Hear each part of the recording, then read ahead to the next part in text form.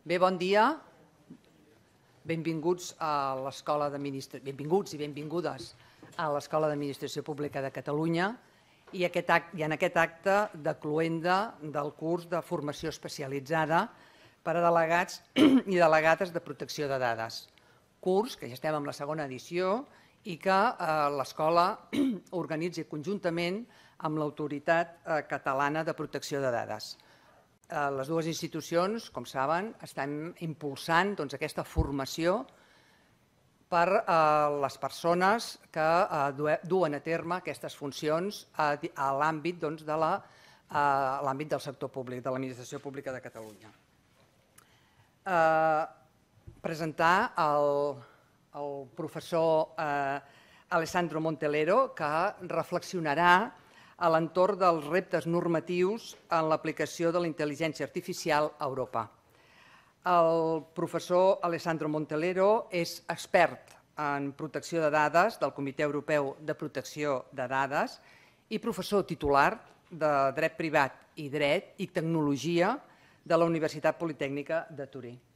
Uh, yo quiero agradecerle eh, en nombre de tanto de la Autoridad Catalana de Protección de Dadas como de la Escuela uh, que nos acompañe hoy en este acto de clausura de este curso de uh, expertos, de delegados de protección de, de, de datos. Pues, uh, profesor, cuando, cuando quiera tiene la palabra. Gracias, muchas gracias por esta presentación. Eh, en primer lugar, lo siento mucho no, no hablar en catalán, lo entiendo, así que si hay pregunta en catalán no hay problema pero no lo hablo. y tampoco mi castellano es tan perfecto, so, por eso uh, muchas gracias para entender estas pequeñas dificultades. Estoy muy agradecido por esta invitación aquí a, a, la escuela y también para volver a Barcelona y a trabajar con la Autoridad de Protección de Datos. Después de dos años eh, de, de COVID, donde se pararon muchas cosas, pero no se paró la protección de datos, que trabajo mucho porque había muchos problemas también de protección de datos. Y eh, también nos separó el, la actividad del eh, legislador europeo y por eso ahora vamos a hablar un poco de... No, allá, no. Vamos a hablar un poco del tema de la inteligencia artificial y de la relación que hay entre la inteligencia artificial y la protección de datos. Ustedes trabaja en protección de datos, pero claro, esto de la inteligencia artificial es un tema que se basa sobre el procesamiento de datos. Así que tenemos que entender cómo las dos eh, normas, los dos reglamentos se van a encontrar, a enfrentar y cómo encajan. Claro, quiero destacar que en protección de datos tenemos un reglamento y tenemos algunos años de prácticas y ya algunas cosas están más claras que antes. Y también tenemos una experiencia muy amplia porque la primera ley fueron en el año 80 y esto, claro, va a cambiar mucho la manera de enfrentarse al tema. En inteligencia artificial todo es nuevo como marco normativo y tampoco tenemos marco normativo de momento porque hay abierta la discusión a nivel europeo en eh, el trílogo y por eso el comentario que voy a hacer sobre esta propuesta se basa básicamente sobre la propuesta de la, Comisión Europea, porque de momento no hay texto único. hay varios textos, cada uno tiene su manera de modificar el texto originario, pero no sabemos al final cuál va a salir.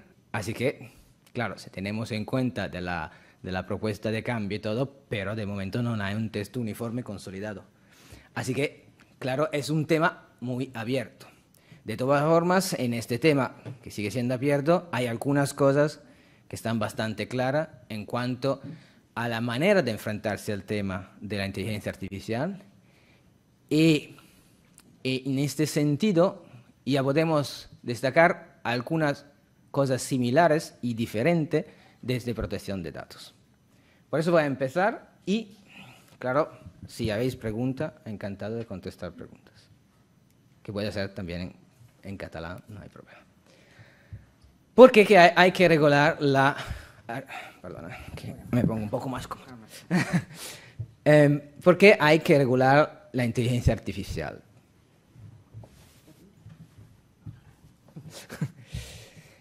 ¿Por qué pongo esta pregunta para empezar?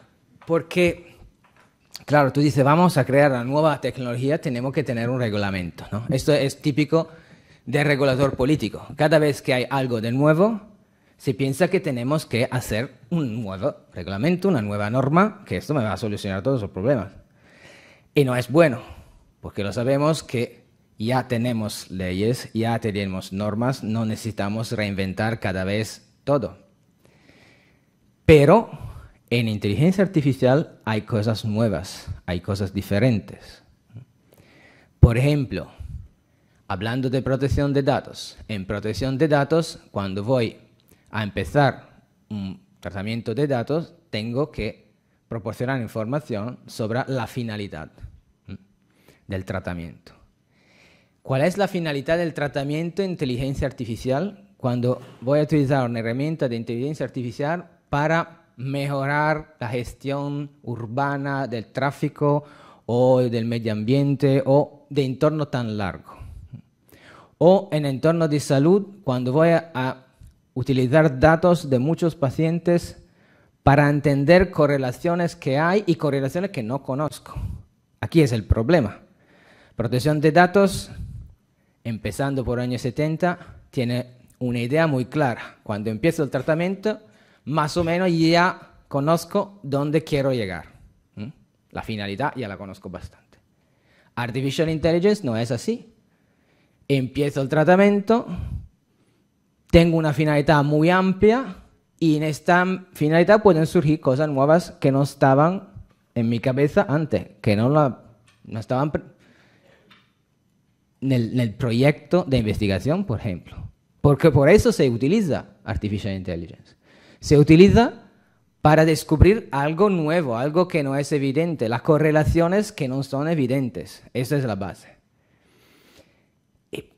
esa es una de las tantas cosas que, que hacen diferencia entre protección de datos e inteligencia artificial. Pero claro, si hay una diferencia en la estructura de la tecnología, en la manera que vamos a utilizar la tecnología, por consecuencia es muy difícil aplicar la norma que ya tenemos a un entorno diferente, tecnológicamente diferente. Por eso la pregunta, ¿necesitamos que regular una reglamentación de la Artificial Intelligence? Sí, la necesitamos. La necesitamos por la, por la parte que no se puede enfrentar con las normas que ya existen. Esto no significa que todo tiene que ser reglado. Por ejemplo, en la norma de inteligencia artificial hay referencia muchas veces a datos personales. No necesitamos reinventar la noción de datos personales porque ya la tenemos. No necesitamos reinventar las funciones de los que están involucrados en el procesamiento de datos personales porque ya lo tenemos. Pero claro, necesitamos algunos problemas que se enfrenten de manera diferente. Y eso es la intención del proyecto de la Comisión Europea y lo mismo a nivel internacional del proyecto del Consejo de Europa, de que no voy a hablar, pero también esto existe.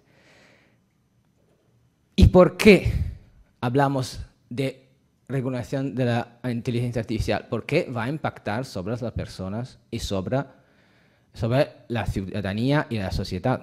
Porque esta herramienta al final sirve, claro, para buscar nuevas estrellas, pero sirven también para tomar decisiones. Eso que nos vas a preocupar como personas que están sobre el tema de protección de datos y de protección de los derechos fundamentales. Porque toda esta herramienta te sirve para decidir qué hacer, a quién proporcionar recursos, quién puede acceder al colegio o a otras cosas. Son herramientas que van a soportar, a proporcionar ayuda a la decisión o a decidir por ellos mismos.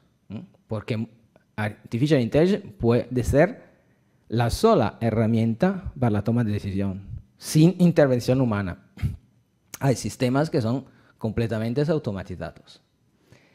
Y claro, si hay errores, si hay problemas en el diseño de estos sistemas, estos afectan la ciudadanía, estos afectan la sociedad. Por eso necesitamos una reglamentación. En esta reglamentación tenemos que mirar algunos escenarios. El primero, el escenario tecnológico. Ha hecho que hay empresas dominantes muy grandes, muy poderosas, y por otro lado que hay diferentes niveles de desarrollo. Así que esto, claro, cuando voy a hacer una reglamentación europea de inteligencia artificial, es algo que debo tener en cuenta. Porque es un entorno con actores muy fuertes y al mismo tiempo con países que tienen mucha diferencia entre ellos. También en la Unión Europea, si vamos a ver las clasificas del nivel de desarrollo de la TIC y todo, no somos todos iguales. También escenario geopolítico, porque Artificial Intelligence se utiliza, por ejemplo, por el fake news para tentar de modificar opiniones políticas en países y también esto es tema de regulación de la inteligencia artificial. Otro punto, tenemos que regular ahora la inteligencia artificial porque si la tecnología se desarrolla por su cuenta, es muy difícil pararla. Cuando ya todo está estructurado, cuando ya todo está hecho en, el entorno tecnológico, no se puede ex post ir cambiando las cosas. Ya la hemos visto. Por ejemplo, ahora empezamos a regular las plataformas, pero ya la plataforma tengo mucho poder en la sociedad. Esto significa que toda la reglamentación tiene que llegar no demasiado tarde. Por eso se empieza a arreglar la inteligencia artificial. Y finalmente, el eh, en, la manera que tenemos que enfrentar la regulación de la inteligencia artificial, hay varias oportunidades, hay varias formas. Aquí la idea básica es de cambiar desde la tradicional manera de enfrentarse a, los problemas jurídicos, que es una manera básicamente ex post. Te pongo la norma, tú vas a no respetar la norma y te pongo la sanción. Y ya está. A una manera diferente que es de prevenir esta acción que no sean eh, en línea con las normas. ¿Por qué? Porque la idea de una actividad preventiva. Porque esta herramienta de inteligencia artificial es también muy oscura. Yo puedo poner sistemas de inteligencia artificial en un ordenador, en una ciudad, y las personas no se dan cuenta. No se dan cuenta de ser controlados, no se dan cuenta que hay algoritmos que van a proporcionar soluciones o a cambiar el perfil de todos. Tú te das cuenta de la cosa que ves, pero no te das cuenta de muchas cosas que no ves. Y de Artificial Intelligence muchas cosas no las ves. Por eso es necesario intervenir antes, en el, momento que se van a diseñar, a desarrollar los proyectos, no después. Por ejemplo, muchas veces en, los congresos se, menciona el caso de ProPublica, del algoritmo que se utilizó Em, para uh, Compass, para uh, en los Estados Unidos, para decidir lo que podían estar, tenían que estar en, en la cárcel y lo que podían uh, salir de la cárcel. Pero esto de pública, faltamos siempre de decir que se descubrió dos meses, dos años que estaba utilizado, dos meses de investigación. Y eso significa que estos sistemas son bastante oscuros. Y claro, podemos investigar, podemos descubrir que no cumplen con la ley, pero necesitamos tiempo. Y ahora que la herramienta de Artificial Intelligence es muy barata y todo puede desarrollarla, eso es un problema. Por eso la idea de prevenir. Y ya la conocéis, porque en protección de datos la idea de privacidad por diseño es una idea de prevención. La evaluación de impacto es una idea de prevención. Así que el modelo de regulamentación es lo mismo y de paso es lo mismo de toda la reglamentación de la tecnología, más o menos, que es más, más ex ante que ex post. Vamos a ver la iniciativa de la Unión Europea sobre este tema. ¿cuál es la actitud de la Unión Europea? Primero, es necesario un marco europeo. La Comisión se ha dado cuenta que después de mucho hablar de ética, lo siento, pero es un poco pilín crítico con la ética, pero de mucho hablar de ética, entendieron que la ética no es bastante, porque hay ethics washing, hay manera de decir que tú tienes un código ético, así que puedes hacer lo que te da la gana, el código ético te lo hace como te sale bien por tu actividad de empresa. Así que el I-Level Group se, que se creó por la, Comisión Europea hizo un documento muy bonito, un poco confundido entre la relación entre ética y eh, eh, derechos humanos, pero ya está. Y, pero la ética no va a funcionar. Al mismo tiempo tenemos que tener en cuenta que la ética es importante. Pero ¿cuál es el problema? Que la ética no es la alternativa a la regulamentación con normas. Es complementaria. El equívoco principal es considerar la ética como la única manera de enfrentarse a la inteligencia artificial. Y eso no funciona. No funciona porque si vamos a ver los códigos éticos, y se ha hecho mucho trabajo, varios estudios sobre este tema, hay algunos principios que son lo mismo más o menos para todos, pero son muy general no hacer daño, proteger las personas, el diseño con eh, las personas eh, eh, en posición central, todo muy bonito. Pero tú te vas a una empresa y dices, mira, ahora tiene que poner al centro el ser humano. Dices, mira, ya lo ponemos, pero falta de manera de implementar estas cosas. Y por otro lado, si tú hablas con la empresa, dice, mira, la Unión Europea tiene un código ético por artificial intelligence. Dice, está bien, muy bien, a mí no me importa. Si no hay sanción, si no tengo que cumplir con este código, sigo haciendo lo que me trae mucho más dinero. Y es, no es que es polémica. ¿Qué es que desarrolla la artificial intelligence? Son las startups básicamente o las grandes. Y las startups, yo participé en proyectos europeos con startup y también hicimos entrevistas con startups, también en Barcelona. Y cuando iba hablando con estos, te decían, mira, primero, hacer dinero. Segundo, romper todo para ganar, etc. De ley de protección de datos eh, de derechos humanos,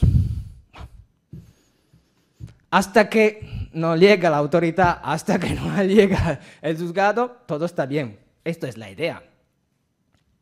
¿Por qué? Porque son personas que no tienen una, formación en protección de datos, eh, en derecho y todo. Tienen un enfoque mucho sobre el tema del desarrollo tecnológico y quieren ganar dinero. Eso es básicamente. Por eso, la ética es muy importante, pero como herramienta de complemento. ¿Por qué es importante como herramienta de complemento? Porque el derecho no puede cubrir todo. Cubrir todo. ¿Mm? Cuando nos hablamos, por ejemplo, de desarrollar en un barrio herramientas de ciudad inteligente.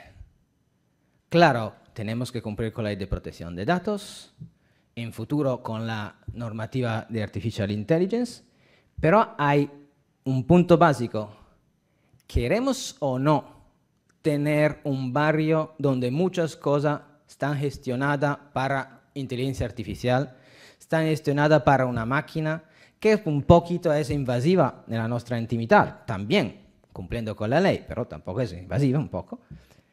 Eso es un problema ético, no es un problema legal, es un problema ético. Por eso la ética es importante, pero es importante no confundirla con la ley.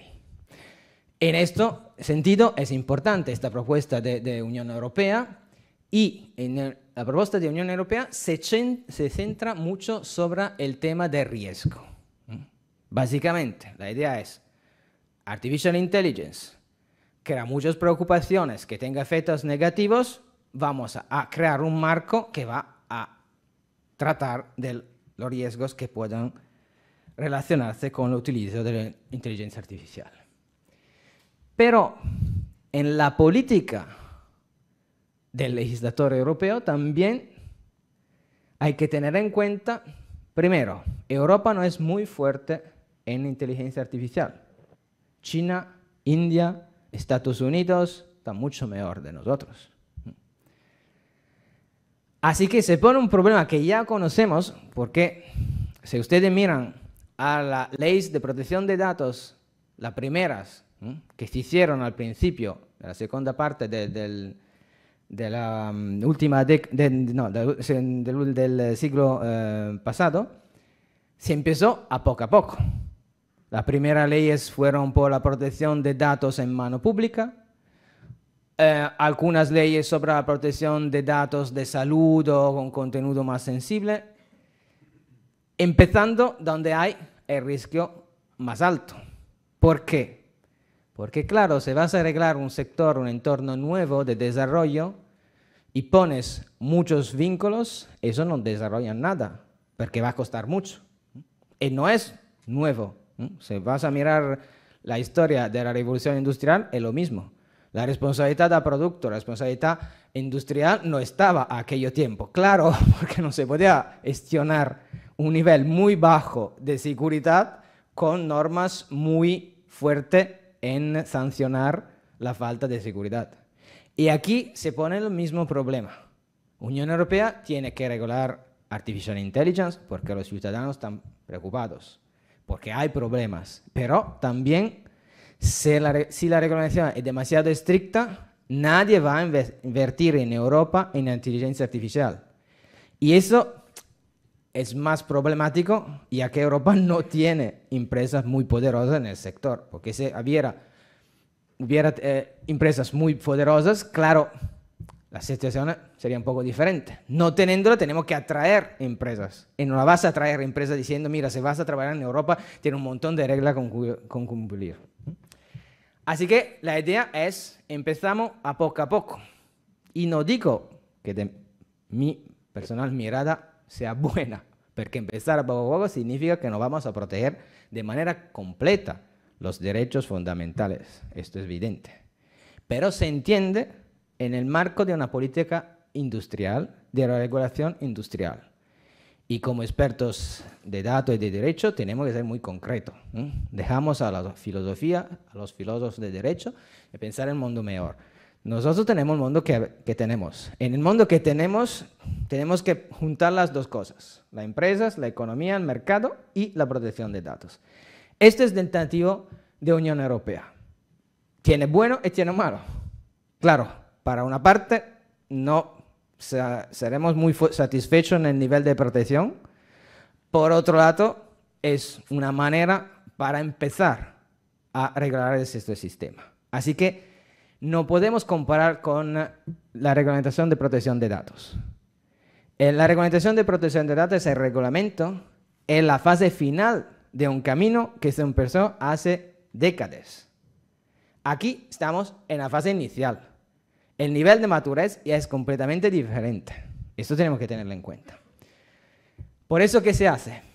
Prohibir aplicación que tiene un efecto muy negativo, muy impactante hay un listado de aplicaciones que están prohibidas.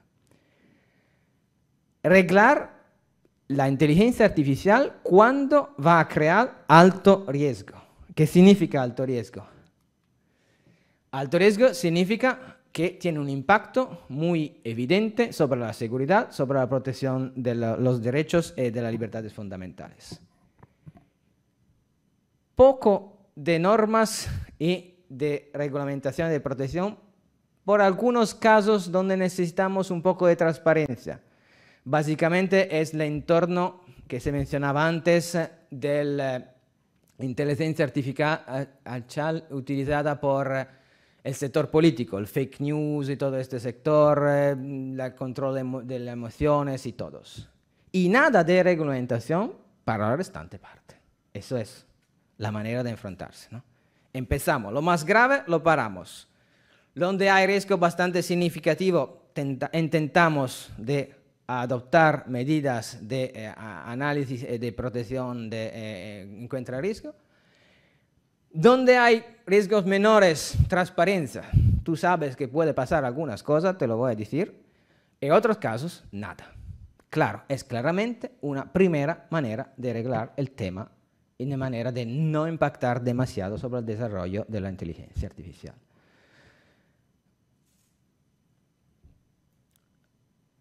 Ya, otras cosas, el modelo de corregulamentación ya lo tenemos, como en protección de datos se utilizan también herramientas de soft law, no solo de, hard law. Pero vamos a centrar un poco en relación a la, en la relación que hay entre inteligencia artificial y protección de datos en el marco de la regulamentación.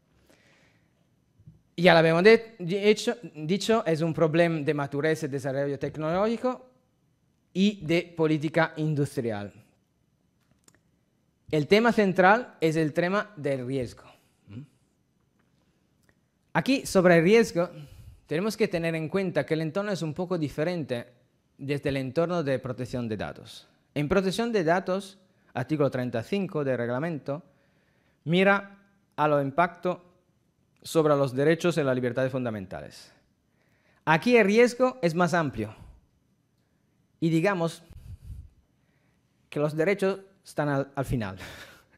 El riesgo es sobre la seguridad y los derechos fundamentales. ¿Por qué digo están al final? Porque el desarrollo se ha hecho por parte de la división de mercado.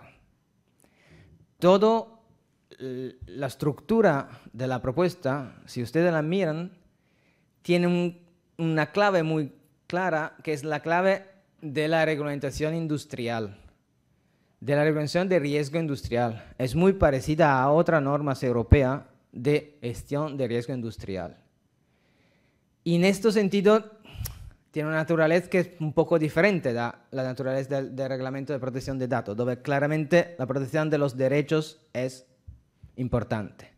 Aquí muchos de, las obligaciones que tienen los que desarrollan Artificial Intelligence son de cumplir con normas de seguridad, digamos procesamiento de la artificial intelligence de manera que no va a afectar el funcionamiento del sistema. Esto se entiende porque artificial intelligence va a gestionar muchísimos aparatos y por eso hay un problema de seguridad también.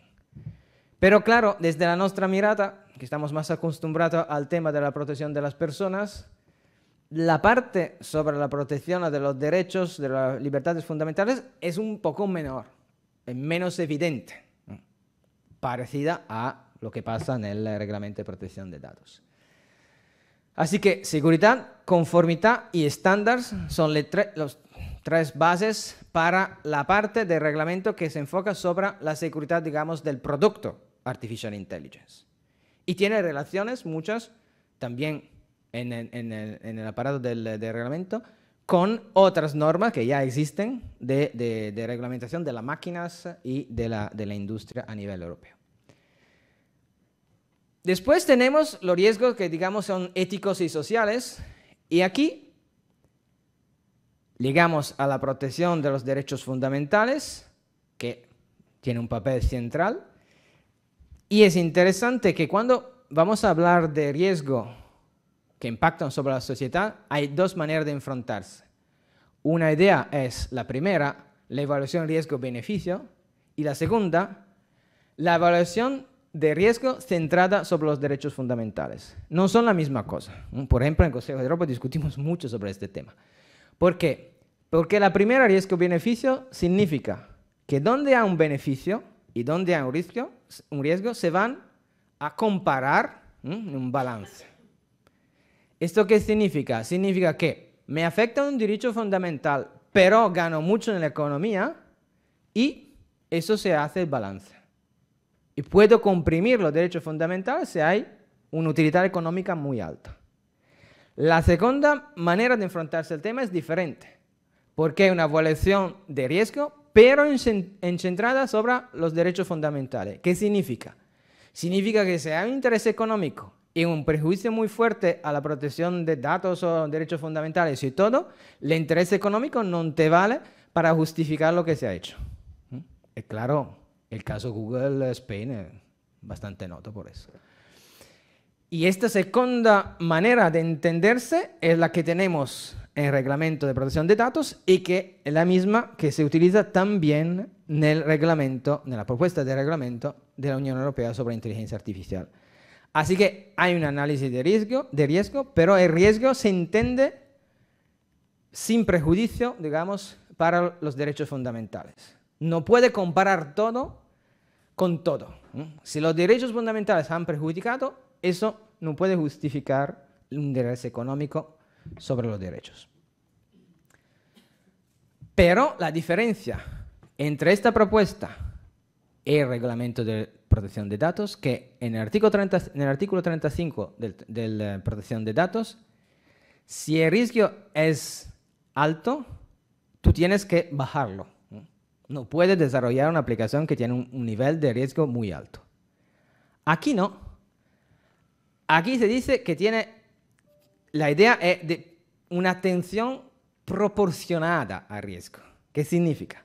Significa que el riesgo puede ser alto, sigue siendo alto. Tú adoptas medidas para reducir hasta que puedes, pero tú puedes desarrollar. Si no es prohibido, claro. Porque son las tres categorías que tenemos antes. Las prohibidas siempre son prohibidas.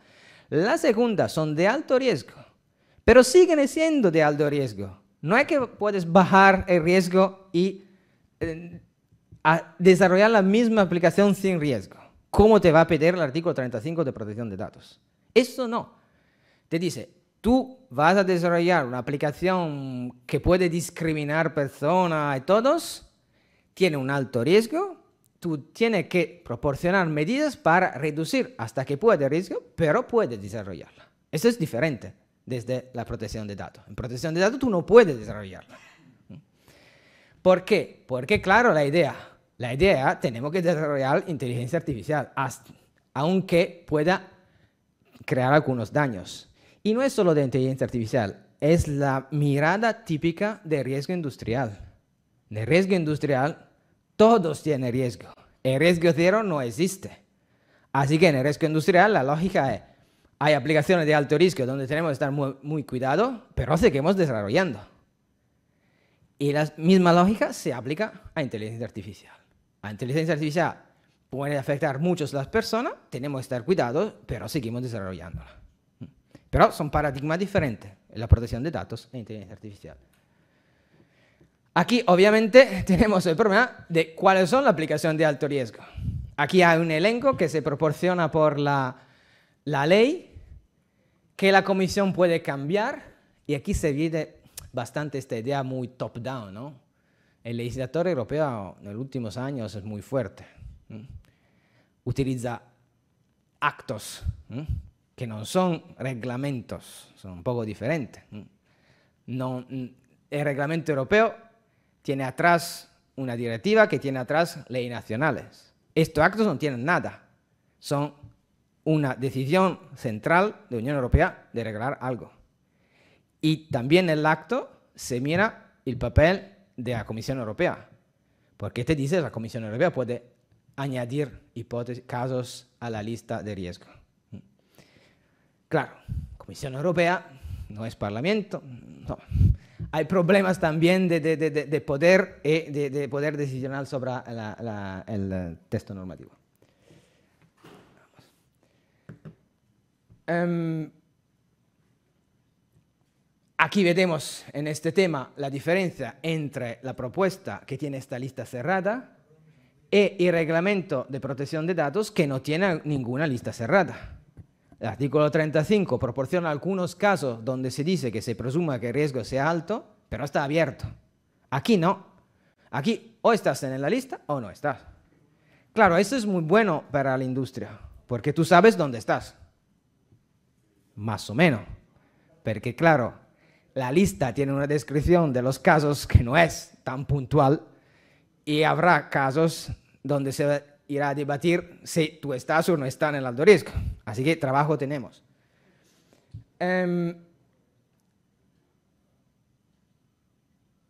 ya, esto ya lo habíamos dicho más o menos. Un punto que quiero destacar es que todo eso falta la participación ciudadana. Hablamos mucho de riesgo, hablamos mucho que impacta sobre los ciudadanos, sobre la sociedad y todo, pero no hay herramienta en la propuesta para involucrar los que son potencialmente afectados por el utilizo de la artificial intelligence. Eso es un problema. Ya tenemos el mismo problema en regulación de datos. Ya en la regulación de datos se dice, cuando hace la evaluación de impacto, puedes preguntar a los que están interesados qué piensan. Yo no conozco esa empresa que lo ha hecho, pero puede ser que alguien lo haya. Eh, aquí tampoco tenemos Claro, esto no es bueno. No es bueno ¿por qué? porque la participación no es solo útil en un sentido democrático, es también útil para el desarrollo. Y mi experiencia con, empresas, con consultorías, eh, el problema es que ¿quién, ¿quién que va a desarrollar Artificial Intelligence? Son tres o cuatro ingenieros que desarrollan algo con sus ideas de cómo es el mundo en el exterior. Y esto es un problema, porque pueden equivocarse, pueden tener una percepción errada de lo que pasa, equivocada de lo que pasa. Claro, se dice, tenemos que construir eh, grupos, equipos que trabajan con expertos de sociedad y todo. Sí, claro, las empresas muy grandes un poco lo, lo hacen. Pero también si tú tienes expertos de sociedad, sin involucrar a las personas, muchas cosas no las puedes entender. Esto, por ejemplo, en evaluación de impacto de los derechos humanos, cuando se hace, es muy claro. Si hay riesgo de impacto sobre un contexto, una región y todo, se va a entrevistar a las personas para entender cuáles son los problemas que ha creado una industria o un plan de desarrollo y todo. Y así muchas veces se encuentran cosas que antes uno tampoco conocía. Por eso la participación es importante. No es importante solo porque es democrática, es importante porque te permite de mirar la cosa de otra manera, de entender cosas que antes tú no te planeabas. Eso es importante. Y eso falta. ¿Qué podemos aprender de la protección de datos? El primer, la primera cosa que podemos aprender es que necesitamos modelos de evaluación de riesgo. Porque he hablado para 30 minutos de evaluación de riesgo y no he hablado del modelo. ¿Por qué no hay? En la reglamentación no hay modelo de regulación de riesgo. Y Viola dice, discutimos en, un debate, Viola es director eh, del Departamento de Unión Europea, dice, ah, no hay problema, hay, hay las entidades de, normalización, de estandarización que van a proveer, em, a definir estándar poco a poco. Porque los estándares no son herramienta de evaluación de riesgo. Y no todo se puede estandarizar. Claro, teniendo en mente la idea de la seguridad del producto industrial, ellos se piensan en estándar. Pero ahí, funciona. Porque yo voy a producir un móvil, siempre el mismo móvil voy a producir. Cuando entiendo dónde puedo equivocarme, lo puedo poner en seguridad. Pero cuando voy a desarrollar una aplicación para proporcionar recursos a niños que tengan problemas de aprendimiento, depende del problema, depende de la edad del niño, depende del contexto social, depende de un montón de cosas. Y en cada lugar donde lo vas a desarrollar, necesita enfrentarte con una situación diferente, no puede estandarizar. Esta idea que con lo estándar se puede hacer todo, el estándar funciona bien, ya lo conocemos en protección de datos, donde hay cosas que se repiten. ¿Podemos estandarizar la seguridad de la información? Claro, de los datos. Eso se puede. ¿Por qué? En un ordenador las cosas pasan más o menos en la misma manera. Pero cuando vamos a utilizar inteligencia artificial en el contexto social, cada proyecto tiene su peculiaridad. Y no podemos definir estándares uniformes para todos. Porque se saltan el estándar, porque el contexto son diferentes. Así que eso es un problema. Y en eso es mejor la idea de protección de datos que dice en el 35, vas a evaluar caso a caso, no te pongo normas muy estrictas, tú vas a evaluar qué, te encuentra enfrente.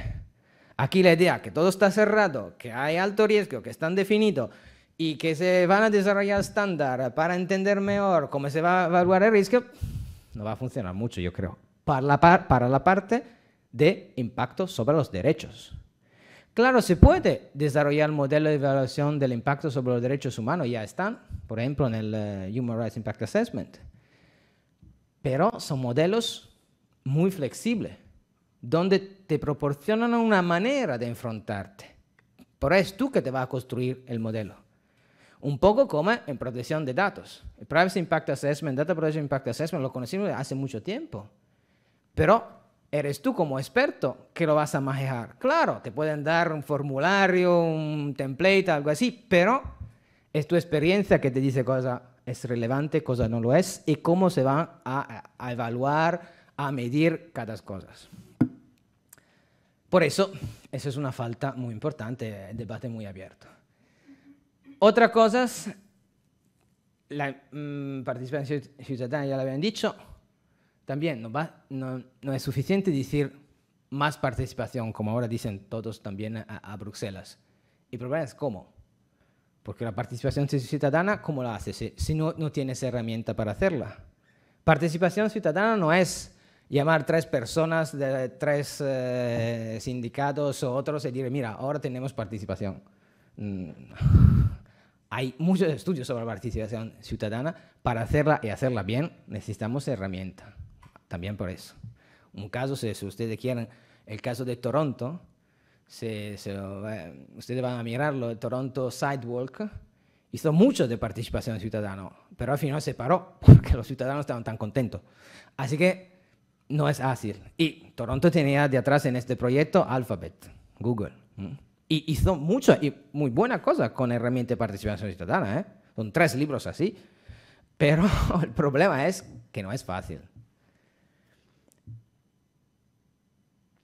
Otra cosa que se puede aprender de protección de datos es la relación entre mercado y derecho.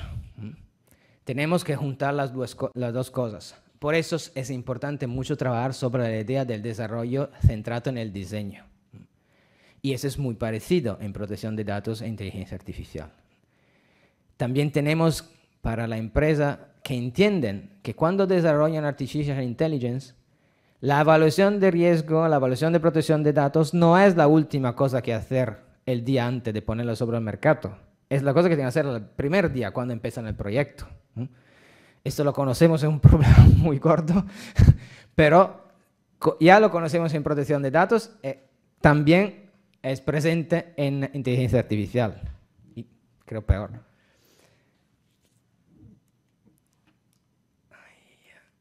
Cuestiones pendentes, la última. Ya habíamos dicho algunas cuestiones pendentes, pero algunas están aquí. Primera, ¿cuál es el papel de la Autoridad de Protección de Datos? Porque se dice, hacemos una autoridad sobre la inteligencia artificial. Eso es una nueva manera de enfrentarse ¿no? con, problema, con los problemas políticos. La de antes fue, hacemos una nueva regla Ahora hacemos una nueva regla y una nueva autoridad. Así que todo está resuelto. Pero no es así. Porque el problema es que Artificial Intelligence impacta sobre la protección de datos, discriminación, energía, todo. Porque vamos a ponerla en todo. Así que, ¿cuál es la autoridad? Porque se dice, no, pero es un problema de mercado. La autoridad de mercado dice, yo soy la autoridad. A otro dice, no, pero es un problema de datos. La autoridad protección de datos dice, yo soy la autoridad. Y, y vamos a siguiendo. Así que la idea de crear una autoridad es muy debatida en Bruselas. No se ha conseguido de solucionarla de momento. La protección de datos y autoridad de protección de datos, digo, nosotros tenemos que ser la autoridad. Personalmente, pero ya lo he dicho muchos tiempos antes, y no lo digo aquí porque estoy en autoridad de protección de datos, yo pienso que es mejor la autoridad de protección de datos. Y yo lo decía en el 2014. ¿Por qué? Porque la protección de datos tengo más experiencia en manejar datos y los problemas de los datos. Una autoridad de mercado, ya la hemos visto en algunos casos, no tiene la misma sensibilidad. Las herramientas son diferentes. Cuando la autoridad de mercado va a controlar el problema, vas a analizar siempre el problema de mercado, de cuota de mercado. La idea es diferente, no está centrada sobre la protección de los derechos fundamentales. Y claro, la falta de esta sensibilidad puede ser un problema. Otra cosa es eh, cómo vamos a integrar la protección de datos en la reglamentación de Artificial Intelligence. Pues que tenemos evaluación de impacto en protección de datos y evaluación, de impacto en artificial intelligence. Tenemos eh, tareas eh, con eh, diferentes mm, papeles de los que tienen que manejar los datos y lo mismo, pero manejan también artificial intelligence.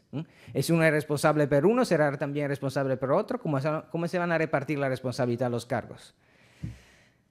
Y si vamos a añadir también todos los otros reglamentos que se están aprobando por la Unión Europea sobre el entorno digital, claro, para una empresa y también para un sector público es muy difícil gestionar todos, porque son todas, todos van al final a impactar sobre la gestión de datos, que es la misma en el entorno empresarial, pero se va a dividir para cada reglamento. Así que esto crea un esfuerzo y una complejidad que no es tan fácil gestionar. Y eso es de la armonización. Y finalmente, esto de Artificial Intelligence será un nuevo efecto Bruselas.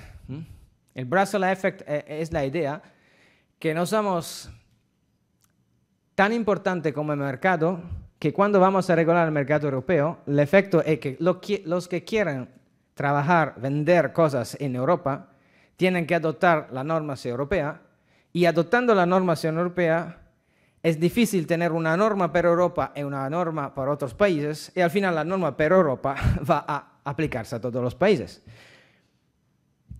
los legisladores de Bruselas dicen, esto es evidente en protección de datos y esperan de hacer lo mismo con Artificial Intelligence. Pero, primero, protección de datos es lo único caso en que ha pasado, porque por otra norma europea todo llega de Estados Unidos. Esto se tiene que tener en cuenta. Y en protección de datos ha pasado porque Estados Unidos, siguiendo un modelo diferente de falta de norma general, no pusieron sobre la mesa su propuesta. Aquí tenemos que tenerlo en cuenta. Segundo, protección de datos tiene una historia muy larga. Artificial Intelligence, no y Estados Unidos y otros países ya están trabajando sobre la herramienta de reglamentación de, la Artificial Intelligence. En la propuesta de protección de datos de Estados Unidos federal que se está discutiendo, hay algunas normas sobre inteligencia artificial. Así que el mismo éxito no creo que sea posible. Que mañana después, tenemos una, una ley de, de Artificial Intelligence en Europa y todos la van a copiar, yo creo que no. Claro, tendrá un efecto porque es la primera muchos países pueden tomarla como base, claro, pero el mismo efecto que hemos visto con eh, la protección de datos no creo que sea posible. Pero eso significa que no habrá efecto Bruselas. Eso tengo algunas dudas. ¿Por qué? Porque el efecto puede ser generado no por el reglamento de inteligencia artificial, sino por todas las leyes que lamentablemente para nosotros se van aprobando y en estos últimos 12, 3 años. ¿Por qué? Es claro que la Comisión Europea ha impulsado una regulamentación del entero sector tecnológico digital y lo está haciendo cada día juntando nuevas partes a esto. ahora con también la ciberseguridad, la seguridad de los dispositivos conectados y todos. Eso sí que puede crear un efecto Bruselas, porque tú te puedes escapar de una ley puede crearte una ley parecida o con alguna diferencia, pero toda esta ley juntas crean un marco, digamos un código de normas digitales y esto claro que impacta a nivel internacional, porque somos lo único área eh, del, del planeta donde hay tantas normas generales sobre el digital. Y esto puede crear un marco que va a ser de, modelo por muchos otros países. Claro, eso si este marco tiene su coherencia, porque si en este marco cada división se crea su ley sin mirar lo que está escrito en la otra, y se crea un conflicto y los conflictos no se van resolviendo, el marco no es tan fuerte, no se puede exportar. Así que esto lo vamos a ver en los años que van a venir. ¿Esto qué significa? Para concluir, significa que los expertos de protección de datos siempre tendrán mucho trabajo en los próximos años y siempre mucho más. Y tendrán que ser expertos no solo de protección de datos, sino de toda la nueva ley que para nuestro gusto, la Unión Europea proporciona cada día y, tenemos que estar al día. Y por eso creo que la formación, la actividad de investigación y de estudio es necesaria. No, no podemos ser expertos de este tema estudiándolo una vez y ya está. Tenemos siempre que ponerse al día porque todo va a evolucionar y no, no se para. Y con esto voy a concluir. Aquí tenéis también una referencia a este libro, es en Open Access, y habla de protección de datos y de evaluación de impacto sobre los derechos humanos de la Artificial Intelligence. Lo podéis cargar, que ya lo ha pagado mi universidad con mi dinero de investigación. Muchas gracias.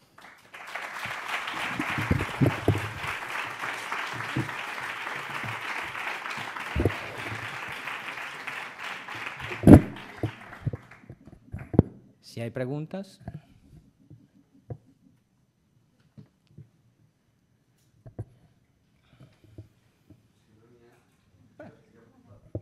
Ah, eh, hay una. Sí, sí, pero tenemos tiempo, ¿no? Tenemos tiempo.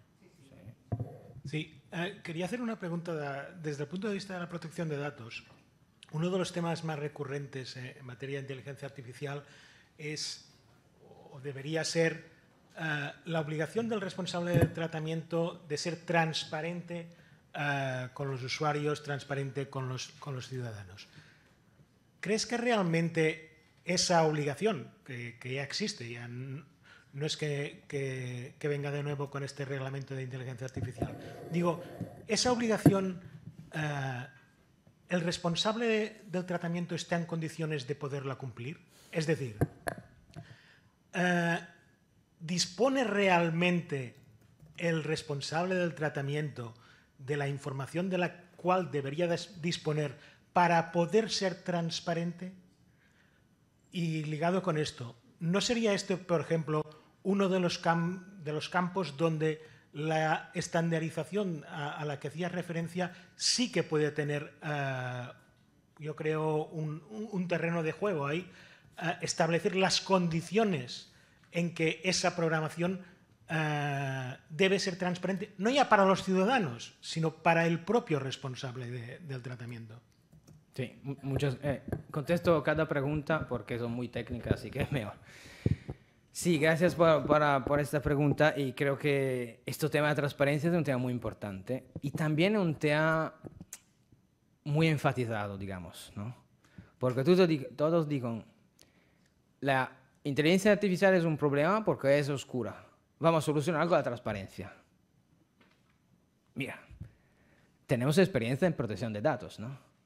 Cuando te proporciona información sobre tratamiento de datos, es transparencia, ¿no? Pero, ¿cuántas personas van a, leerla? Ya lo sabemos que no la leen. ¿Y cuántos que la leen la entienden? Ya lo sabemos que muy pocos que la leen la entienden. ¿Y cuántos que la leen la entienden después toman decisiones diferentes y pueden tomar decisiones diferentes? Porque si no hay otro que te proporcione este servicio, tú lo necesitas, lo entiendes y ya, está.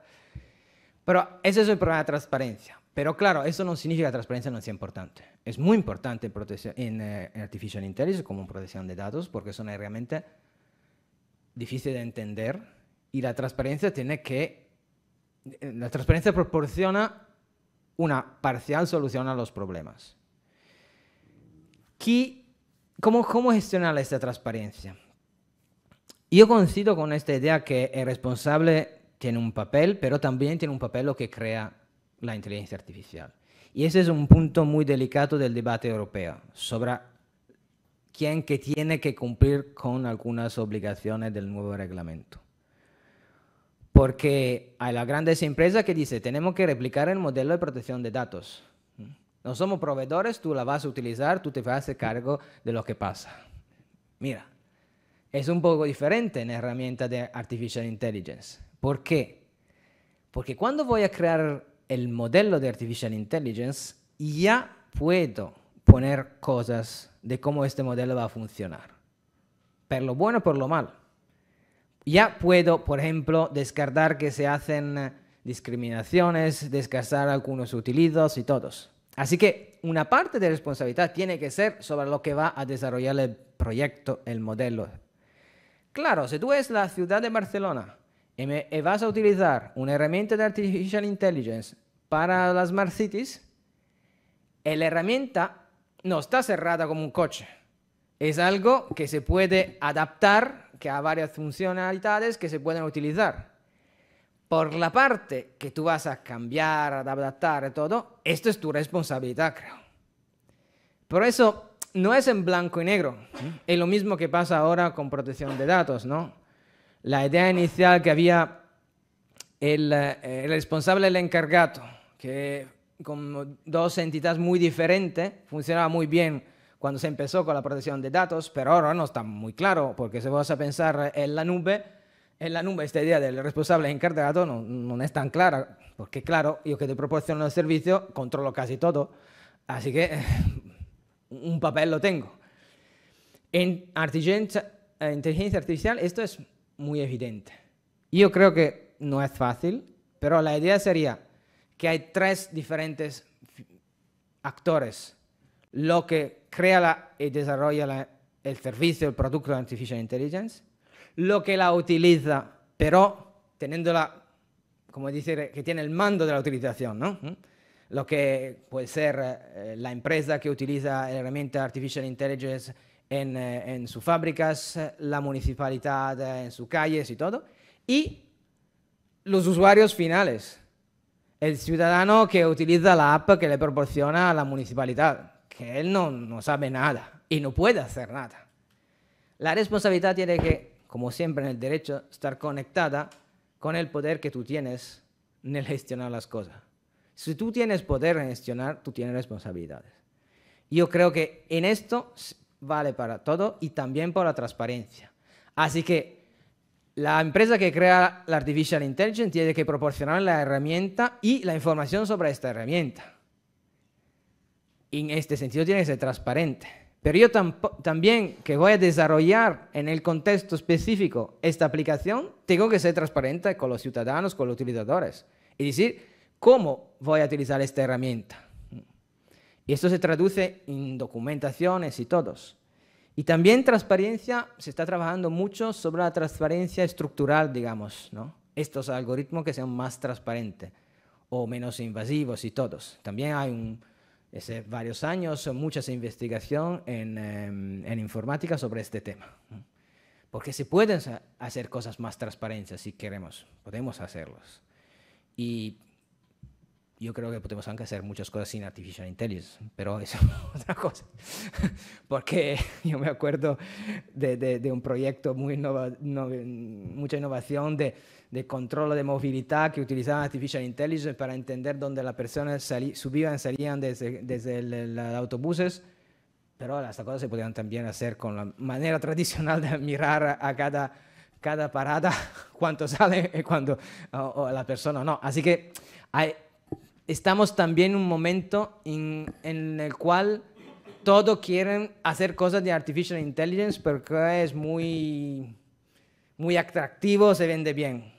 Y muchas veces hacemos cosas que no son necesarias con un tratamiento desproporcionado de datos personales que se podrían evitar no utilizando artificial intelligence y con otra herramienta solucionar mismamente, en su modo de cosas. Y la otra pregunta sobre el estándar, claro, el estándar son muy útil donde se puede estandarizar. Así que, por ejemplo, ahora se está trabajando mucho en estándar en, eh, en la calidad de los datos y relacionado con la no discriminación.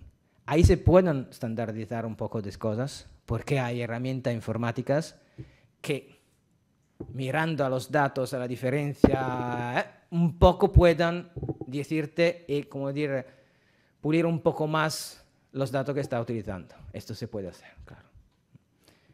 No sé si he contestado todo. Aquí. Eh. Ah, el, ah, bueno, bueno. Ah, sí? En, en tot cas, només volia intervenir per dues coses. Una, per agrair-te la focalització, la forma en què us he explicat, ens has contextualitzat, sistematitzat i chequejat eh, el mapa de la intel·ligència artificial avui a Europa i amb, amb cada element de possible contacte, integració necessària en la protecció de dades personals. Vagi per endavant això. La segona és només una reflexió. En una d'elles has fet l'èmfasi, la diferència, la reflexió de la falta de, de focalització o de centrar-se o de partir de la visió de drets fonamentals i, i protecció de dades en el moment de, de la regulació, eh? sigui aquesta regulació de la comissió i no del Parlament, etc etc. Jo demanaria unes paraules mm, també pels impactes o la reflexió sobre l'excés. No només la falta de, sinó l'impacte de l'excés, de vegades, de centrar eh, la protecció de dades personals amb d'altres normatives reguladores. Gracias. Gracias. Sí. Mira, yo, yo llego de protección de datos y protección de derechos humanos. Así que es eso no lo veo más. Porque, claro, la protección de estos derechos se justifica cuando hay problemas. Si no hay problemas, no tenemos que protegerlo. Así que poner como requisito que se protegen los datos personales, que se protegen los derechos fundamentales, no es un problema si desarrollamos cosas que nos van a impactar. Eso es también un tema que ya conocemos en protección de datos y también en el entorno que está menos conocido, pero existe, de la protección de derechos humanos. ¿Qué entiendo decir? Entiendo decir que muchas empresas dicen, mira, ¿por qué tengo que hacer también evaluación sobre derechos humanos o sobre protección de datos? Ya tengo que cumplir con muchas cosas, esto es una cosa más y esto me va a costar mucho. Pero ¿qué pasa? Que el coste, el esfuerzo que te vamos a pedir está proporcionado con el impacto. Así que la énfasis tiene que estar, yo creo, sobre este tema, porque tú sepas que tienes que considerarlo. Después, si tú desarrollas Artificial Intelligence para una aplicación muy básica, para proporcionarte donde hay parking y donde no hay, Claro que no tiene mucho impacto sobre los derechos humanos y tampoco su protección de datos, depende cómo la vas a desarrollar. Pero en este sentido, eh, la idea es, los reglamentos son muy largos, hay muchas obligaciones, pero tú no tienes necesariamente cumplir con todas estas obligaciones, depende qué haces. Y por otro lado, si tú haces cosas que impactan, claro que te tiene que hacer, claro, mi, mi opinión, que te tiene que hacer cargo de proteger las personas para el efecto negativo que tienen tu idea de desarrollo industrial eh, o económico, que es la idea de riesgo y derecho que siempre tenemos. ¿no? Así creo que la énfasis no me parece al final demasiada, porque digamos, el sector industrial, eh, el, mercado no es muy sensible al tema de los eh, derechos. Derechos humanos, si vamos a hacer la supply chain de muchas empresas, no, se centran en los derechos humanos.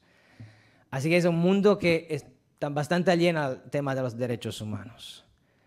Por eso que la Unión Europea en este reglamento y también en la propuesta de directiva sobre los derechos humanos pone más enfoque sobre este tema no es malo y tampoco es malo para las empresas, porque al final eso será una ventaja competitiva para las empresas europeas. Porque ahora en China pueden producir a un décimo de costo de lo que producen en Europa, porque claro, no tienen que respetar el medio ambiente, los laboratorios y todos, los trabajadores y todos, y los derechos. Las empresas que trabajan en Europa siguiendo normas más restrictivas y más respetuosas, eso no es bueno, porque la competición no tiene en cuenta el valor añadido de la protección de los derechos. Si ponemos el valor añadido de la protección de los derechos como criterio de mercado o de acceso al mercado, esto va a beneficiar a nuestras empresas. Así que yo creo que se puede trobar un compromiso que va a satisfacer a todos, pero opinión personal. Hola, bon dia. Moltes gràcies, Alessandro, per la, la teva presentació. Um, a veure, do, do, dos coses. Una és el tema de l'efecte Brussel·les, que, que estic totalment d'acord. Per això és molt important o sigui, quina l'estratègia que se segueixi sigui coherent. No? I després també perquè qualsevol norma que afecti les dades personals, en la mesura en què el reglament general estableix una aplicació extraterritorial del mateix en la mesura en què les, les aplicacions vagin destinades a ciutadans que estan a la Unió, doncs es donarà també indirectament aquest efecte Brussel·les. No? Per tant, això és una cosa que, que crec que s'ha de tenir en mente. No? I després l'altra qüestió que em sembla important és mm, la, el tema de la participació ciutadana, que crec que potser sí que pot tenir lloc en el moment en què es decideixi quan utilitzar intel·ligència artificial. No? Per, per, per l'exemple que has posat tu de pujar i baixar de l'autobús, no? És a dir, evidentment la participació ciutadana no és difícil que tingui lloc un cop ja l'eina ja estigui implementada. No? I principalment perquè no entendrem eh, moltes vegades com funciona, amb la qual cosa difícilment podrà participar. No? Però en el moment en què s'està decidint, no? en el moment doncs, aplicar-la doncs, a les ciutats intel·ligents o el que sigui, en aquest moment sí que crec que és necessari que la ciutadania decideixi si es vol o no eh, que s'implementi aquest recurs. No? Claro. En aquest moment jo crec que sí que és important decidir-ho. No? I després una tercera qüestió en relació a quina autoritat s'ha de fer càrrec, etc. No? que jo també comparteixo amb tu que crec que les autoritats més adequades són les de protecció de dades, no? i no perquè estiguem avui aquí reunits. No? Però, i des, però sí que crec que és important que aquestes autoritats cada vegada també tinguin mm, un enfocament mm, més també dirigit a la, a la tecnologia, és a dir, que hi hagi realment experts que puguin eh, conèixer bé aquests algoritmes, no? perquè des del punt de vista exclusivament jurídic no, no podem entendre tota la dimensió. No? Per tant, és molt important aquest diàleg no? entre el món jurídic i, i el, el tecnològic. No? Gràcies. Gràcies a ti.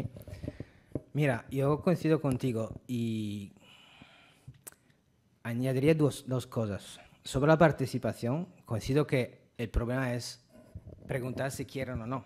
Y ahí también hay el papel para la ética y la dimensión social. Y otro tema es que cuando hablamos de participación ciudadana, en, en, en, Barcelona hay experiencia en este sentido, la participación de quién? Porque poner una herramienta online, una app, también hay participación para el reglamento europeo, ¿no?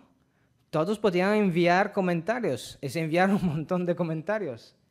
Pero el problema es que no todos tienen la misma oportunidad de tiempo, de conocimiento, de acceso. Así que la participación ciudadana también tiene riesgo de ser una participación para élites, ¿no? Porque se dice, mira, yo creo participación ciudadana y creo un foro online es claro, el foro online supone que tú estás conectado, que tú sabes hablar bien, que tú sabes expresionarte, que tú sabes leer e entender. No son cosas tan simples hoy. ¿no? Hay muchas personas que hablan leer, pero no entienden. Esto está demostrado. En mi país, 40, 35%. Así que el problema es, participar, ¿qué significa? Tienes que participación efectiva, si no, no es participación. Y para hacer participación efectiva no es tan fácil. Y otro tema de la protección de datos, yo creo que la protección de datos como autoridad son no solo las más adecuadas porque ya trabajan en datos, sino porque ellos ya, ellas ya trabajan sobre los temas de los derechos humanos. Yo hice con mi compañera una, investigación sobre este tema, eh, también sobre la, que el proyecto de investigación miraba a cinco autoridades europeas, nacionales, también de España, y cómo decidían los casos y el papel que los derechos fundamentales tenían en la decisión de la Autoridad de Protección de Datos. En este artículo que se publicó, está en abierto sobre Computer Law and Security, si buscáis Mantelero Computer Law, van a encontrar. Ahí se, el resultado fue que mirando a 600 decisiones eh, o documentos de estas autoridades, y muchos de ellos había de atrás una lógica de protección de derechos fundamentales, no solo de protección de privacidad o de protección de datos, de derechos fundamentales. Claro, en el texto de esta, de esta decisión o documentos no está muchas veces muy explícito, muy claro la referencia, pero la lógica de atrás para llegar a la decisión está evidente que es no se limita a la protección de datos. ¿Esto qué significa? Significa que la autoridad de protección de datos ya tienen una forma mentis, una lógica orientada a la protección de los derechos fundamentales y no solo de protección de datos. Por eso, eso es un hecho, es un documental. Por eso son más adecuadas que otras autoridades que no tienen esta experiencia. Y eso para soportar tu idea. Bé, jo volia fer una reflexió, potser pregunta sobre el tema de l'ètica. El negoci d'algunes empreses, com Google, per exemple, es basa en, jo l'interpreto així, en l'espionatge sistemàtic de les dades personals i de les metadades personals de, de les persones que passen temps davant d'una pantalla. Eh, clar, moltes vegades les, mm, aquestes dades no són, no són realitat dades personals, sinó metadades, que són dades de comportament. Malauradament, crec que les metadades no estan eh, protegides per la llei i, i d'aquí tenim el model de negoci eh, actual. Clar, quan passem a la intel·ligència artificial i, i el tema de les smart cities o les mal anomenades ciutats intel·ligents, al final mm, els, els projectes que se'ns presenten és que la ciutat apareix plena d'aparells que, que en realitat no són intel·ligents perquè són sensors que es dediquen a enviar informació de comportament social empreses que segurament explotaran aquestes dades. I jo, des del punt de vista de l'ètica, com puc acceptar que s'estigui espiant massivament a la ciutadania sense que pugui renunciar-hi, perquè ningú pot renunciar a caminar pel carrer. Com, com es pot fer acceptable això i, i compatible amb la protecció de dades? Sí, yo, pienso que eso, eso, es un problema, ¿no? Eh, todos lo conocimos, ese problema de la, de la empresa es muy grande y del papel que tienen en el desarrollo de aplicación que afecta a la sociedad. Yo creo que esto se puede enfrentar en dos maneras. La primera, claro, la protección de datos al final es, bastante fuerte. También en este tema de eh, ciudad inteligente hay muchas decisiones de autoridad de protección de datos que han parado proyectos, que han limitado proyectos donde se recogían datos con sensores y informar a las personas y todos. Así que tenemos un marco que un poco nos ayuda. Pero yo creo que eso no es bastante. El problema básico es la falta de conocimiento de los decisores políticos o administrativos. Por eso es importante la formación.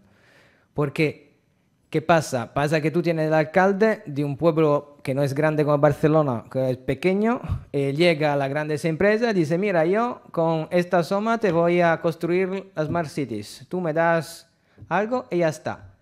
Algunas veces te lo hago gratis en Toronto todo gratis fue la idea, ¿no? Porque claro, yo lo hago gratis porque, ¿qué es esto? Es un experimento social. Tú tienes, para desarrollar la ciudad inteligente, tienes que ver cómo funcionan. Si nadie te proporciona la ciudad para testarla, ¿cómo puedes? Por eso te lo hago gratis. Después que lo he hecho gratis ahí, lo voy a vender a costo a otros, claro. Pero eso es la falta de los decisores políticos de entender el problema, de entender que dar los datos de los ciudadanos es un acto político que tenía que involucrar a los ciudadanos, que los proveedores no son todos iguales, que los contratos con los proveedores no son todos iguales, y eso es algo que, que hay también lógica geopolítica, porque claro, nosotros hablamos muchos de Google, pero tenemos también personas un poco más allá en, en, China, por ejemplo, que proporciona muchos servicios, están peor de Google con protección de datos y muchas otras cosas. Así que la Europa, lamentablemente, se enfoca mucho en Estados Unidos y muy poco en China, en lo que pasa en Asia. Y ahora muchos de los aparatos, incluidos móviles, son de China. Así que yo creo que un poco, una mirada un poco más global será útil, porque al final Google un poco aprende paso a paso que hay sanciones, las empresas estadounidenses aprenden. De la empresa china no tenemos muchas informaciones porque no hay sanciones o hay muy pocas. Así que yo creo que la mirada tiene que ser muy, más global. Pero, claro, es un problema. Pero yo no creo que es un problema de falta de regulación solo, es un problema de falta de conocimiento y de madurez por parte de los decidores. Es. Hola, buenos días. Eh, lo primero de todo, agradecer eh, la exposición. muy interesante. mi pregunta es la siguiente. Mm, ¿Se ha llegado a nivel del Comité Europeo de Protección de Datos realizar algún análisis respecto a las responsabilidades de los desarrolladores, en el caso este específico de la inteligencia artificial? diferente a lo que actualmente contempla el reglamento, que son las sanciones.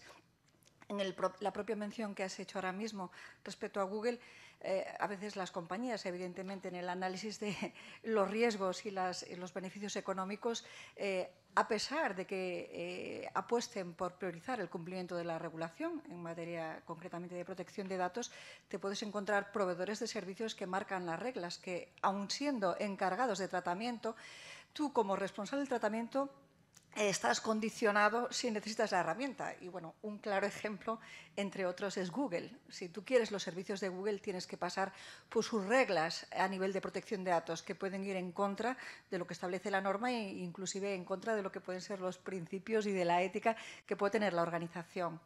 Esta es, es la pregunta. Gracias. Gracias por esta pregunta. Que yo sepa, no hay un trabajo específico sobre este tema. Pero si vamos a ver lo que están haciendo en general autoridades y también el European Data Protection Board, la idea sería que tú tienes que no hacer el contrato con lo que te proporciona algo que va en contra de la ley. Pero ¿qué ha pasado? Que con la pandemia, no soy en España, pero en Italia, muchísimos colegios se fueron con Google para toda la actividad de clases y Google claramente no tenía nada que fuera conforme con la ley de protección de datos sobre este tema. Pero claro, era emergencia y todo parecía justificado, no fue la, única. Pero eso que pasa muchas veces, ¿no? Como, como usted dice, te proporcionan el servicio, es muy barato, no hay alternativa y se saltan la regla. Pero ahí el papel de las autoridades, porque se va a controlar, eso hay la sanción. Yo creo que el modelo sancionatorio funciona. Para, para que funcione necesitamos dinero. No se puede imaginar de tener la autoridad de protección de datos, que tiene que mirar a toda la protección de datos que está en cada lugar, con poco dinero y pocas personas. Claro, se dice, en los últimos años, pero habíamos añadido más recursos. Habíamos añadido más recursos, claro. Pero ¿qué pasa, por ejemplo, en el sector de la construcción edilicia? ¿no? En, en la construcción, no soy en España, pero en Italia hay inspectores que están sobre el territorio y hay varios, muchísimos, que van a controlar en cada lugar donde se va a construir algo, si todo es regular o no. Y ya hay muchos casos que no es regular. En protección de datos, ¿cómo se puede hacer lo mismo? En Italia tenemos, creo son 200 personas en Roma que tienen que mirar que hace 60 millones de personas. Y claro, tú no puedes controlar todo. La estandarización puede es ser una solución buena por muchas cosas en este sentido. Porque se desarrolla un estándar, muchas cosas básicas, o está cumpliendo con el estándar o está fuera de la ley y ya está. Pero muchas otras cosas no es la falta de marco regulatorio y la falta de enforcement, la falta de posibilidad de tener recursos y herramientas adecuadas para que se cumple con la ley. Y y esto se, enfrenta en, dos maneras, en tres maneras. La primera, con la regulación ex ante, impacto assessment y todo. Segundo, con mayor actividad y recursos a la autoridad de protección de datos. Y tercero, con la educación. Porque la persona está informada, si la persona entiende que, claro, yo puedo hacer un contrato con una empresa que me ofrece un servicio muy barato, pero los datos son procesado de manera que no es conforme a la ley, esto no es bueno, no lo quiero los mis ciudadanos, eso no lo voy a hacer. Y los ciudadanos que son más concienciados también te dicen, mira, pero ¿por qué lo has hecho? ¿Por qué nuestros datos se están utilizando de manera que no es legal? Y eso un poco a poco va cambiando, yo creo. Bueno, en primer lloc, felicitats a tots, no? Felicitats per eh, doncs, haver superat aquest, eh, aquest curs i en primer lloc agrair-vos molt sincerament la vostra assistència a aquest acte, a aquest acte de Cluenda. El que fem entrega dels certificats de la segona i primera edició del curs d'especialització per a delegats i delegades de l'administració públiques i el seu sector públic. Aquest segon sabeu que ha estat adreçat al món local i el primer fou dirigit a l'administració de la Generalitat. És important per l'Autoritat Catalana de Protecció de Dades avui tenir-vos aquí, no? Suposa, per una banda, continuïtat i reforç d'una actuació que per nosaltres és estratègica. Per eh, més d'una raó. Una és que consolida els coneixements especialitzats i transversals que els delegats de protecció de dades heu de tenir. Però per l'altra, facilita la creació d'una xarxa on poder compartir coneixements, experiències, a vegades situacions problemàtiques, però al cap i a la fi us dona la possibilitat de conèixer-vos, de tenir, insisteixo, aquesta xarxa i, per tant, recolzar-vos també en situacions a vegades complexes. Això es produeix doncs, dintre de l'administració de la Generalitat, en el món local, en les universitats i en les corporacions de dret públic. Aquest segon punt, el que és el fet de la creació de xarxa de DPDs, és un element eh, que des de l'Autoritat Catalana de Protecció de Dades estem iniciant a treballar i que volem treballar amb intensitat. Creiem que aquí hi ha molt camí per recórrer. Crec imprescindible que en aquest món que, a més a més, avui se'ns ha explicat de canvi accelerat i, a més a més, constant, és necessari que totes aquestes matèries que convergeixen en moltes ocasions en el tractament de dades doncs puguem obrir portes, puguem facilitar l'existència de comunicació, d'aproximació a diferents entorns que ens permetren diferents coses. Identificar, per una banda, millor, risco, eh, millor els riscos, buscar solucions més pràctiques i eficients i, per tant, ser més creatius davant de reptes que la tecnologia, com hem vist, ens plantegen i ens plantejaran. La xerrada de l'Alessandro eh, Mantelero ens permet veure l'amplitud dels fronts que s'obren davant nostra i la necessitat d'integrar diverses disciplines professionals en els entorns de treball actual. I com el dret a la protecció de dades s'està convertint cada vegada més en un eix primordial per la defensa dels drets i llibertats de les persones. Com ja vaig comentar a la inauguració del que va ser la segona edició del curs, que us he de dir que va ser la primera actuació, per dir-ho d'alguna manera, que jo tenia com a directora d'autoritat de, de l'Autoritat de Catalana de, de Protecció de Dades, la figura del delegat de protecció de dades és una peça essencial de les organitzacions per a complir per complir d'una forma efectiva el Reglament General de Protecció de Dades. Simplificant-ho molt, eh, simplificant molt el, el DPD té entre les seves funcions la d'acompanyar el responsable del tractament en la correcta compliment de la normativa, en el que és l'assessorament el, el, i, per tant, totes les accions que se'n deriven. I, a més, és el punt de contacte també de la seva organització amb l'autoritat. Tots hem pogut eh, comprovar des de l'aprovació del reglament que no ens podem quedar només amb el compliment formal, sinó que cal la contextualització i l'anàlisi de riscos per cada tractament. Esdevé un requisit imprescindible de la normativa. Per tant, comptar amb una persona especialitzada en la matèria que és, a més, eh, qui coneix el seu sector, la seva organització, etc., és un element clau de garantia fonamental. I des de l'autoritat, conjuntament també amb l'Escola d'Administració Pública de Catalunya, ens hem, ens hem compromès formalment en aquesta especialització. Compromís que va més enllà del curs que avui finalitzem, sinó que a més a més estem concretant de poder fer, eh, facilitar-vos recursos de formació continuada. No? Creiem que és interessant que puguem fer tallers pràctics i que, per tant, doncs, vosaltres eh, pugueu participar-hi, analitzar-los i, per tant, resoldre'ls conjuntament. L'elaboració de vídeos, de podcasts i també doncs, de formació sectorial. Creiem que en els propers mesos anirem oferint aquestes diverses formacions que pensem molt sincerament que us poden ser de gran utilitat. I alhora ens permetrà fer això que us deia, no?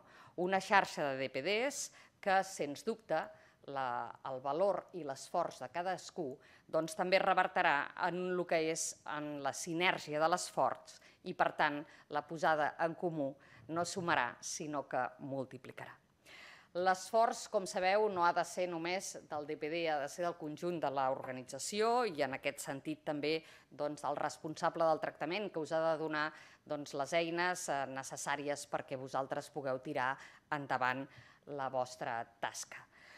Però no em vull eh, allargar més i per acabar i tancar aquest acte de cluenda vull facilitar-vos felicitar-vos molt sincerament per l'enorme esforç que heu fet que heu realitzat durant aquest curs, tant un com l'altre. Em consta que sobre el primer va tenir derivades producte de la pandèmia i que, per tant, i, tant és així que inclús doncs, eh, hem hagut de posposar el donar el certificat fins avui, però vull animar-vos a seguir aprenent i que, per tant, ens faciliteu també per part vostra totes aquelles eines que vosaltres cregueu que són, poden ser de la vostra utilitat i que dia d'avui potser des de l'Autoritat Catalana de Protecció de Dades encara no us posem a l'abast. Ja us he dit que volem aprofundir i, i de forma rellevant en tot el que és la formació i que ha de ser diversa, però també ens agradarà i per tant estem oberts a rebre les vostres propostes per mirar d'aprofundir-hi i en aquest sentit ser-vos de més utilitat. Moltes gràcies.